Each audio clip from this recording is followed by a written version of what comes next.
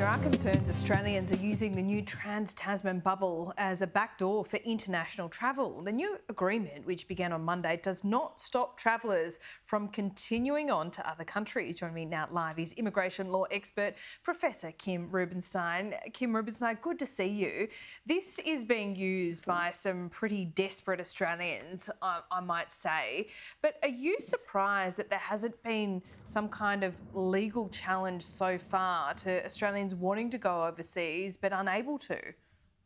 Yes, I've been saying right from the start, Laura, that um, as a citizenship expert, that these are really serious questions about citizens' rights in relation to their freedom to travel both outside of the country and inside the, and then return to the country. And I think the blanket ban that has been placed that individuals then need to apply for an exemption for has serious questions under the Biosecurity Act under which it's legislated for, because that act itself says that any decisions under that act must be appropriate and adapted to the end that they're seeking to achieve mm. and the least restrictive way of doing so. And I don't think this is the least restrictive way of managing that um, the health needs. So, who would be targeted here, the federal government or the state governments? Because it's the state governments, as we've just seen in WA, wanting to restrict the number of overseas travellers coming home. So, yes, this is a really interesting aspect of our constitutional framework that the um, Commonwealth have legislated the Biosecurity Act itself. It's a federal act which restricts people leaving the country. Um, but the states um, are, of course, politically um, involved in and have been involved with the mm. decision making through the National Cabinet in relation to this regulation.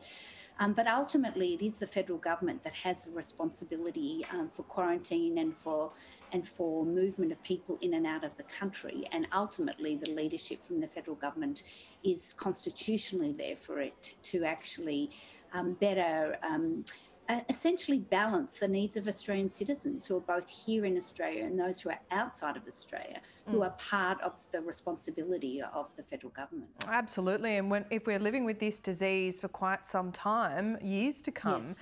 it is a real live issue, and we saw threats of big fines and even jail if Australians use that loophole in New Zealand. Now, do you think that can actually uh, be brought about, or is it just a threat? Look, it's really interesting. A court would ultimately have to make this decision, Laura. But in essence, anyone who was um, uh, who was found re- responsible for and had such a fine placed against them, I think would have a legal argument in response to say that that fine is actually an unlawful fine and would be resist could be resisted on that point. But it would be a matter that would have to go to the courts. Mm. But there are very clear legal precedents in relation to a government only being able to legislate and to impose fines within the legislative power under which it's acting, and this legislative power has pressures upon it. What do you make of the UN ruling that said it was unlawful for two men, Australian men in particular, they were stopped from coming home because of various barriers? Uh, some were financial, some were logistical. Uh, the yes. government, I think, is yet to respond to that. But does that ruling have really any power?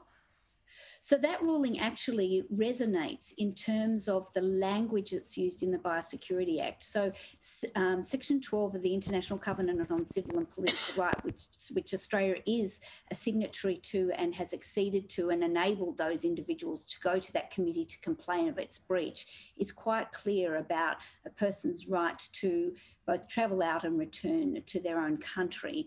And so the fact that the Human Rights Committee put an interim order in place place um, requesting Australia to facilitate the return of those Australians is a reminder that the um, Biosecurity Act that mirrors that legislation is limited by those principles too. So I think that even though there are no, there's no police force for the UN to actually force the Australian government to mm. act, Australia has said that it will engage with that um, that finding, and when we and and it will be interesting to see how it navigates that in relation to its commitments internationally, as well as internally to the responsibility to Australian citizens. Well, Kim Rubenstein, thank you so much for reminding us what freedoms we should have in a democracy this morning. Uh, it's great to talk to you.